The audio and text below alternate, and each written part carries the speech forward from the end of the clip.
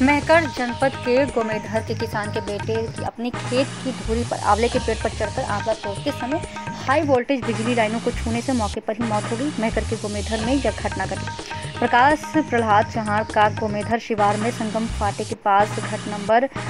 सत्तावन में खेत है उनका बेटा सुमित प्रकाश चौहान 28 साल का है वह आज खेत पर गया था आंवला तोड़ने के लिए पेड़ पर गया आंवला तोड़ते समय हाई वोल्टेज बिजली के तार को धक्का लगने से उस युवक की जगह पर ही मौत हो गई नागरिकों को घटना के बारे में पता चलते ही इस घटना की जानकारी पुलिस को मिलते ही बीट जमादार शरद बाट पीसीओ अनंत कलम्बकर